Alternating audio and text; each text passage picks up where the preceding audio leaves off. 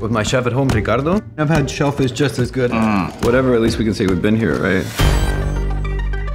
Working money. Yeah, baby. Could we please get a little gluten-free bread? You get no bread.